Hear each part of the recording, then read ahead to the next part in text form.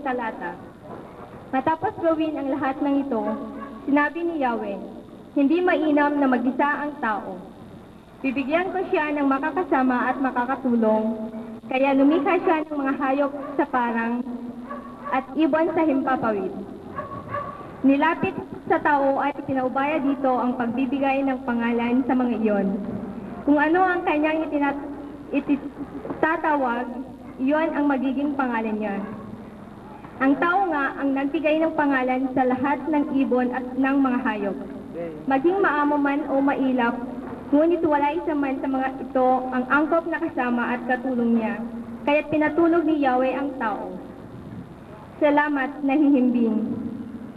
Kinuha niya ang isang tadyang ito at pinaghilom ang laman sa tapat niyon.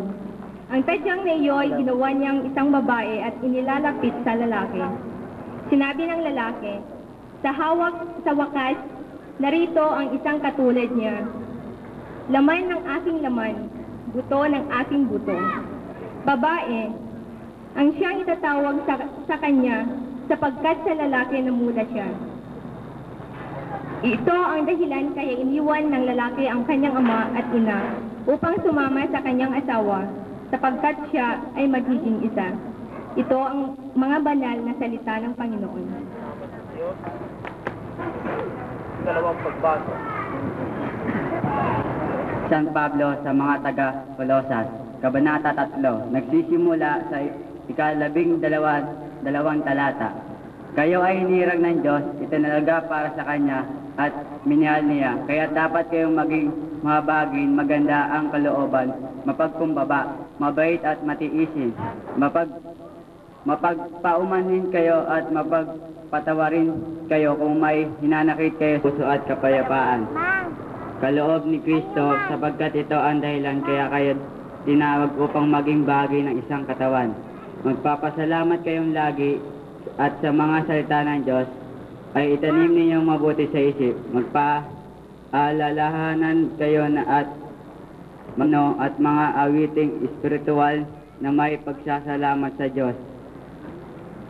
At anumang gagawin ninyo, maging sa salita at sa gawa. Gawin ninyo lahat ng pangalan ng Panginoong Hesus at magpapasalamat kayo sa Diyos Ama sa pamamagitan niya. Ito ang banal na salita ng Diyos.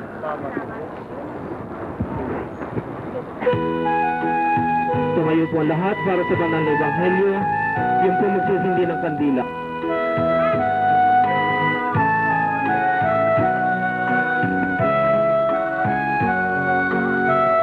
Niyong iiwan hanggat hindi sumasapit sa wax yung apoy ng inyong sinindihan.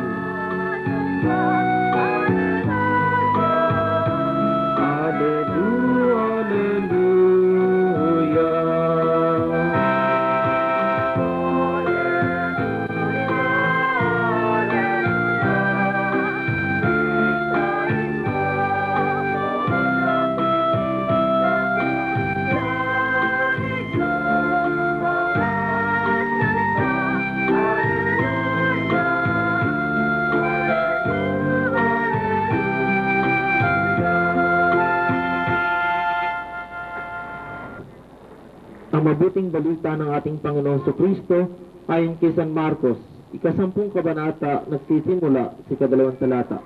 Luwalhati sa iyo, Panginoong Heso Kristo.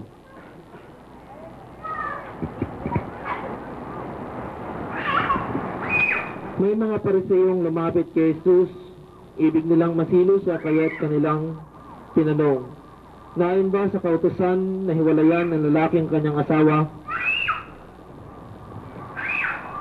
Tugon niya, anong utos sa inyo ni Moses? Sumagot naman sila, ipinahintulot ni Moses na hiwalang niya silang lalaki at babae. Dahil dito, iiwan ng lalaki ang kanyang mga magulang at magsasama sila ng kanyang asawa at sila magiging isa. Kaya hindi na sila dalawa kundi isa. Ang pinagsama ng Diyos ay huwag paghiwalayin ng tao. Mga kapatid, Ebanghelyo ng Panginoon sa Kristo. Magsipo po lahat. Kautosan na yon. Pero sabi niya, sa pasimula pa, nilikha ng Diyos babae at lalaki lamang. No? At pareho lang iiwan ng kanilang magulang at sila'y magsasama. Ika nga, dito ay pumapasok yung sistema na ang buhay pamilya ay hindi isang buhay na simple lamang. At lalo higit ang buhay pamilya ay hindi na masasabi natin na pangkaraniwan lamang. Kung noong unang panahon na kahit sa murang edad ay madaling mabuhay, sa ating panahon ngayon na halos lahat ay binibili ng salapi, paano nga ba magpamilya? Arnel, sa simula't simula pa sa kultura ng Pilipinas, kundi bagkos bilang ama ng tahanan, ikaw ay isa ring leader ng iyong pamilya. At bilang leader ng pamilya, hindi lamang nasasakop dito yung pagiging ika nga ay pamumuno mo, kundi bagkos ipagkakaloob mo yung mga pangunahing pangangailangan ng iyong asawa at magiging anak sa pagdating ng panahon. Ika nga sa isang hari o sa isang presidente, pinipilit niya na maibigay lahat sa kanyang nasasakupan yung anumang pangangailangan nito. Pero siguro naman sa nararapat, Lailani, na hindi lahat ng gugustuhin mo ay maibibigay. Ika nga, kung ano yung kaya ng iyong asawa, ay siya mong pagtiisan. Huwag tayong mainggit sa iba na mayroong gano'n at mayroong ganito. Siguro kaya din katulong. So sa makatweet, ito ay awit ni Raquel kay Tobit. No? Na kung saan ay napakahirap po ng ganito mo. Nang ibig sabihin ay hindi sa lahat ng panahon ay tawag ng laman ang pag-aasawa.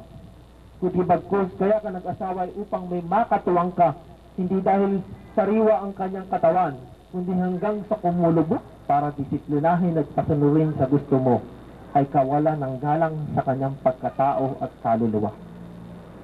Hindi mo siya kinuha at minahal para lamang pasunurin sa nais mo, bugbugin. Dahil yun ang tunay na pagsasama ng mag- mag-asawa, nagbibigayan. Pag-usapan nyo ang mga bagay na kuminsan ay nagiging negatibo sa isa't isa. Sige, sa, pag sa pagsisimba, kayo ang mag-asawa ang magkasabay. Walang nauuna o walang itinataw ang isa at ang isa'y naiiwan. Kayo humarap sa Diyos ng sabay at nararapat lamang sa pagtawag mo sa Diyos. Ikaw ba nag-asawa handa ka na o natatakot ka lang sa mga gawain bahay? You are very, very young. Ano? Ang edad rito ay bagay na kung saan ay masasabi kong nasa, nasa kasarapan pa lang ng pamilyang dalaga. Ang isang pambahay kundi katuwang ng iyong asawang lalaki sa pagbuo ng pamilya. Kasi naging misunderstood yung iba, be submissive to your husband. Sabi nga ni Chapusit, soon she realized na ang pagiging submissive sa asawa hindi na hanggang at the point na hindi ginagalang ang kanyang pagkatao. Kundi bagkos, ang pagiging submissive sa asawa ay paggalang mo sa kanyang pagkalalaki. No? Lailani. Minaratat din ang simbahan na bilang ina ng tahanan na ikaw at sa'yo maririnig ang unang mga wika ng iyong anak. Ba yung ibigin, aliwin, igagalang at pangalagaan sa kanyang karamdaman ng kalusugan at iwan mo ba lahat at ang silang pagkisaman mo bang kapwa kayo nabubuhay? Lailani, tinatanggap mo ba maging asawa si Arnel upang mamagay magkasama sa pagkasan ng Diyos sa banal na sakramento ng kasal? Siya ba yung ibigin, aliwin, igagalang at pangalagaan sa kanyang karamdaman at kalusugan at iwan mo ang lahat at ang silang pagkikisaman mo bang kapwa kayo nabubuhay? Mga ninong at ninang at magulang, tumayo po kayo. Kagalang-galang ng mga ninong at ninang at mga magulang na Arnel at Lailani, nangangako po ba kayo na gagawin nyo ang lahat ng abot ninyo makakaya upang mapanatilit mo panatag ang pagsasama at pagmamahala ng dalawang ito. Tatanungin ko po kayo, lilipat po ba tayo para po maatuloy ang seremonyas nito? Hindi po tayo pwedeng manatili dito. Baka lumakas ito, tayo rin ang kawawa dito. Lumipat po muna tayo.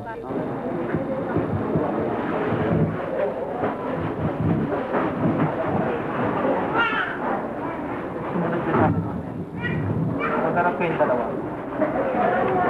Cornel, ikaw mo. Sa ngalan ng Diyos, Sa ngalan ng Diyos, ako si Arnel, ako po si Arlen. ay buong pusong tumatanggap sa ilaylan Ay at tumatanggap sa Ilan. na maging asawa ko Ang maging asawa ko, mula ngayon mula ngayon, at sa mga panahon na darating. sa panahon na darating. Sa kahirapan man ang ginawahan, sa kahirapan man ang ginawahan, sa kahirapan, ng siling sa karamdaman at kalusugan, at karamdaman at kalusugan. mamahalin at itatangi Mamahalin at itatangi hanggang sa tayo pag-iwalayin ng kamatayan. Hanggang hanggang sa tayo sa tayo ay pag-iwalayin ng kamatayan. sa siwalin ng kamatayan. Kung saan ka pumaroon, Kung saan ka pumaroon, doon ako paroroon. Doon ako paroon. Kung saan ka tumira, Kung saan ka tumira, doon ako titira. doon ako titira. Ang iyong bayan, Ang inyong bayan, ang aking magiging bayan. ang aking magiging bayan. Ang iyong Diyos, Ang inyong Diyos, ang aking magiging Diyos. ang aking magiging Diyos. Kung saan ka mamatay, Sa kamamatay, doon ako mamamatay. doon ako mamamatay, Doon ako malilibing. doon ako malilibing. Lailani, tumingin ka naman sa asawa mong nangangako sa iyo. Sandali mo na, siya pa rin. Pero tumingin ka sa kanya. Maganda kayo po. Gawaran ako ng Diyos. Ikaw pa rin ako. Nawaran ako ng Diyos. Ang pinakamabigat na hatol. ng pin- pinakamabigat na hapon. Kung tulutang kong Kung gulutan ko, magkalayo tayo, pagkalay tayo, maliban na lamang. Maliban na lang, kung paglayin tayo ng kamatayan, kung pag- kung paglayuin tayo ng kung kamatayan, paglayuin tayo ng kamatayan. ipagkalaw mo, Panginoon, Pagkulog mo, Panginoon, ang iyong pagpapala inyong pagpapala sa aming pagmamahalan sa aming pagmamahal. at huwag mo ipagkait Huwag mo ipagkaya sa amin, sa amin, ang iyong walang hanggang kalinga. Ang iyong walang hanggang kalinga. walang hanggang kalinga. Amen. Amen. Kailangan ikaw naman. Tanggap sa iyo. Amen. Sa maging asawa ko, magmula ngayon Magmula ngayon. at sa mga panahon na darating, at sa mga panahong darating, sa kahirapan man at kaginawahan, sa kahirapan man at kaginhawaan, sa karamdaman at kalusugan, sa karamdaman at kalusugan, Kailani sa asawang tingin, hindi kamay. Mamahalin at itatangi, mamahalin at itayan. kung saan ka pumaroon, Kung saan ka doon pumaroon, ako paroroon. doon ako Kung paparoon. saan ka tumira, Kung saan ka tumira, doon ako titira. doon ako titira. Ang iyong bayan, Ang iyong ang bayan aking magiging bayan, ay aking magiging ang bayan. iyong Diyos, Ang iyong Diyos ang aking magiging Diyos. ay aking magiging Diyos. Kung saan ka mamatay, Kung saan ka mamamatay, doon ako mamamatay, doon ako mamamatay. doon ako malilibing. Kung saan ako manlilibing, Doon ako malilibing. ako manlilibing. Gawaran ng Diyos. Gawaran ako ng Diyos. Ang pinakamamigat na hatol, na ang pinakamabigat na hatol. kung tulog ko, Kung dulutan ko. Na magkalayo tayo, na magkalayo tayo, maliban na lang, maliban na lamang. Kung layuin tayo. Paglayuin ng kamatayan. ng kamatayan. Panginoon, Pagkaloob mo, ang Panginoon, iyong pagpapala. Ang iyong pagpapala. Sa aming pagmamahalan. Sa aming pagmamahalan. At huwag mong ipagkait. At huwag mong ipagkait. Sa amin. Sa amin ang iyong walang hanggang kalinga. ang iyong hanggang walang, ah, ang iyong walang hanggang kalinga. Amen. Amen.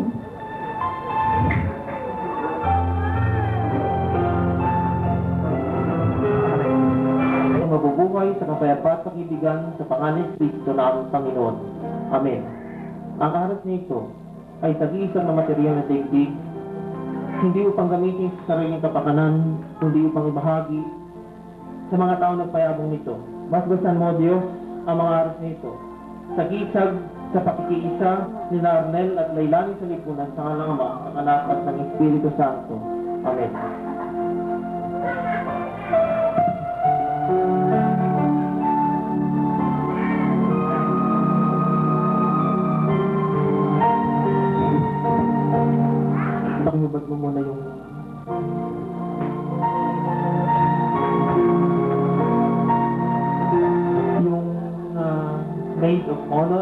Man, pakitabihan niya lang yung dalawa para mag-assist at pakihawakan yung mic habang binabanggit nila yung kanilang uh, ni Tanggapin mo ang singsing nito.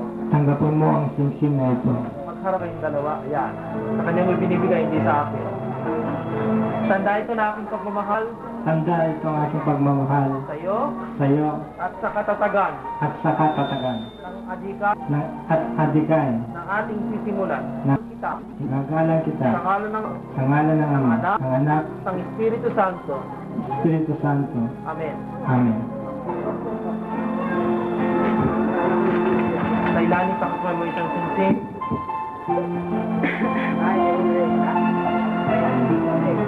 Ilalim, sumunod ka sa.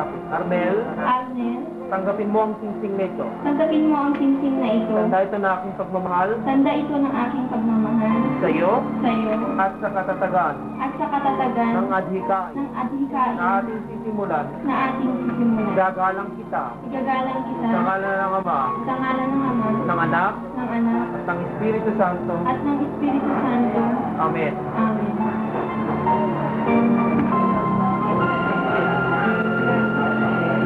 Mo ba dyan mo sinukat yan? Hindi, hindi, hindi, wag mo pa rin. Wag mo mo pa rin. Pag isinuot mo na, wag mo pa rin.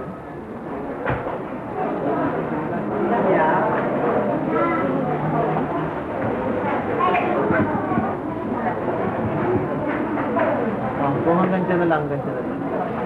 Pakiganan nyo kam- kamay nyo. Arnel, sa ibabaw sa'yo, kay Lailani sa ilalim. Ah, Desmond, pakilagay mo sa ibabaw yung aras kamay ni Arnel. Arnel, sumunod ka sa akin. Tanggapin mo ang mga aras na ito. Tanggapin mo ang mga aras na ito. Bilang tanda. Bilang tanda. Na lahat ng aking kayamanan. Ang lahat ng aking kayamanan. Ay babahagi ko sa iyo. ay babahagi ko sa iyo. Huwag mong isipin Huwag mong isipin na binibili kita. na binibili kita. Sa pamamagitan nito. Sa pamanto sapagkat ang puso ng isang babae. Sapagkat ang puso ng isang babae ay makakamtan lamang ay makakamtan sa lamang pamamagitan sa ng pamamagitan isa ring pusong tapat. na isa ring pusong tapat. Tanggapin mo mga ito Tanggapin mo mga ito bilang simbolo bilang simbolo ng aking banal na pangako ng aking banal na pangako na magmula ngayon na magmula ngayon ay aking tatalikuran ang ating tatalikuran ang lahat ng mga gawa ang lahat ng mga gawa. Na dala ng asal kabataan. Ang dala ng asal kabataan. At ipinangako ko. At pinangangako ko. Na ilalaan ang aking sarili. Na ilalaan ang aking sarili. Na ilalaan ng sarili. Sa isang marangal. Sa isang at marangal tapat na paggawa. At tapat na paggawa. Para sa kasaganaan. Para sa, sa kan- kasaganaan at kaligayahan. At ng kaligayahan ating pamilya. Ng ating pamilya. At palaging hahangarin. At palaging hangarin ang pagpapala ng Diyos. Ang pagpapala ng Diyos. Sa ating pagmamahalan. Sa, sa ating pagmamahalan. ikaw naman, Lailani. Pakibukan mo yung kamay mo, Arnel, at sasabihin ni Lailani. Lailani, sumunod ka sa akin. Tinatanggap ko Natanggap ko ng buong puso ng buong puso ang lahat ng ito. ang lahat ng ito. Mahal kong asawa. Mahal kong asawa. Kasama ang iyong marangal na pangako. Ka- Kasama ang iyong parangal na pangako Para sa kasaganaan para sa kas- kasaganaan ng ating pamilya. ng ating pamilya. Kapalit nito Kapalit nito ay nihandog ko ay inihan ko ang aking pag-ibig. ang aking pag-ibig, Simbolo simbolo na pinagkakaloob ko na pinagkakaloob ko sa iyo sa iyo ang aking puso. ang aking puso. Kasama ang pangako Kasama ng pangako na ako sa iyo'y na ako sa iyo maging isang mapagmahal, na isang mapagmahal, mabait, mabait, marangal, marangal, at tapat na asawa. at tapat na asawa. Tumuhod kayong dalawa.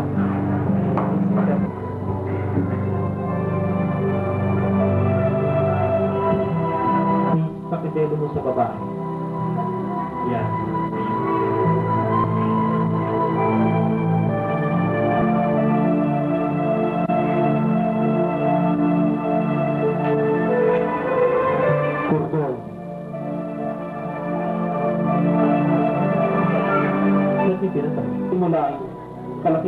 Pakikipagkaisa sa sambayanan sa pagharap sa mga suliraning at sa pagsasakatuparan ng kalutasan.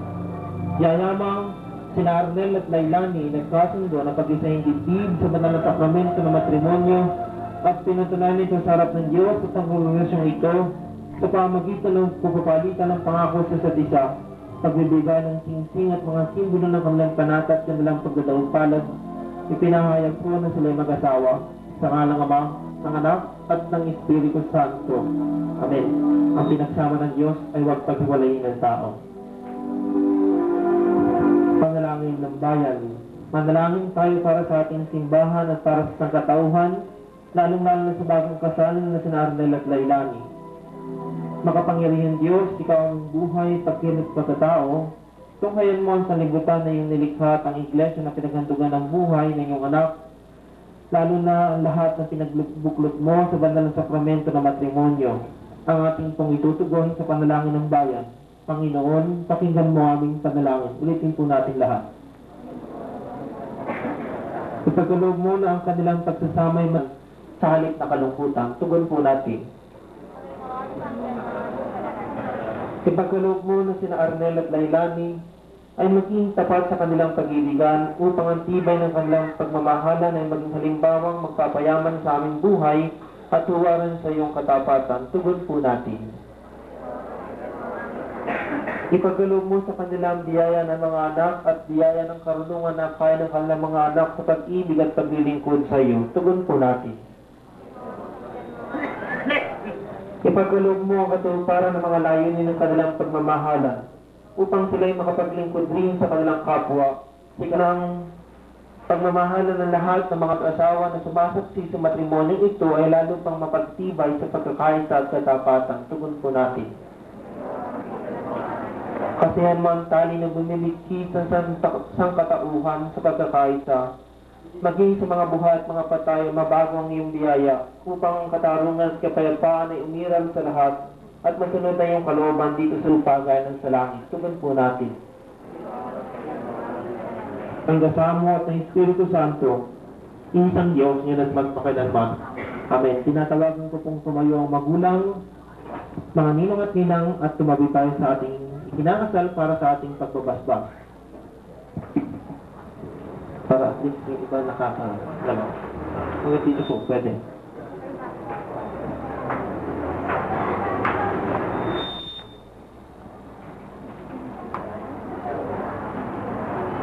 Yan. Pakiganon po natin ang ating mga kamay sa kanila bilang ating pagpapala na magulang at pangalawang magulang.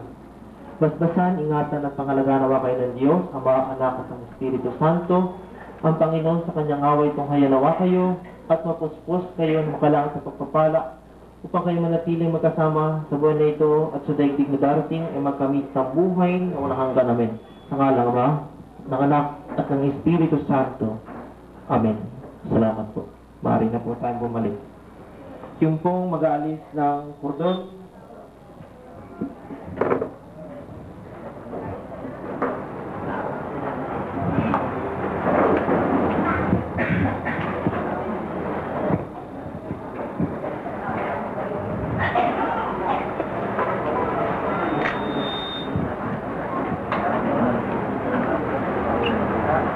dedo.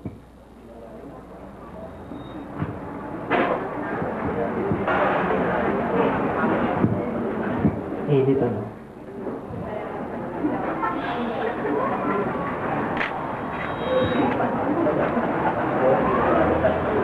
Tumayo po lahat. Tayo po ay nasa bahagi na ng banal na misa. Mga kapatid, tayo katawan ni Kristo sa pamagitan ng isang Espiritu tayo lahat at pinag-isang katawan at tayo binyagan. Ingatan natin ang pagkakaisa ng dulot ng Espiritu sa bigkis ng kapayapaan. Ang kapayapaan ng Panginoon ay lagi nawang sumayo. Ah, Arnel at Lailani bilang mag-asawa, magmano kayo sa inyong mga magulang, mga ninong at ninang bilang pagbati ng kapayapaan. Hindi, hindi muna. Kamay lang. Mamaya yung kiss. Kayo naman. Oh. O ba't yung magkahiwalay?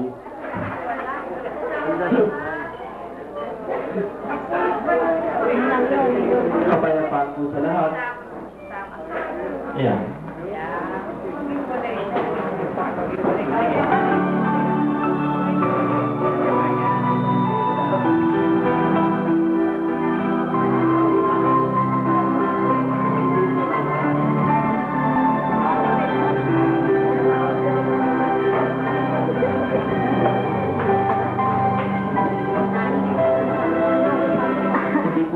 ang kisa hindi nating kultura ang kiss. Kaya ang ano,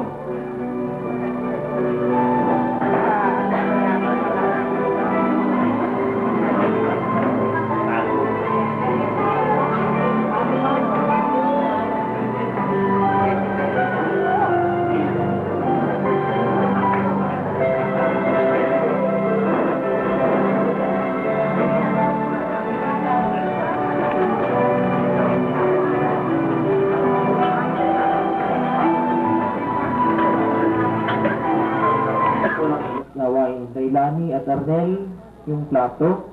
Kayong kumuha ng limos at kayong magalay sa dambana ng Diyos. Magsilpo po ang lahat para sa pag-aalay.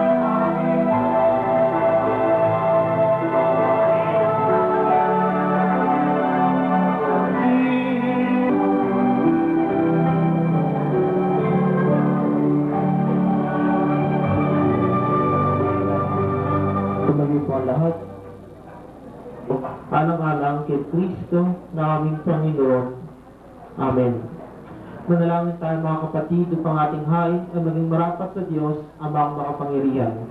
Tanggapin nawa ng Panginoon nating hain, siga pupulit yung natin ng kanyang pangalan sa ating kabubuti at ng buong niyang iglesia. Ang Panginoon ay sumainyo. Itaas sa inyong mga puso. Magpasalamat tayo sa ating Panginoon Diyos. Tunay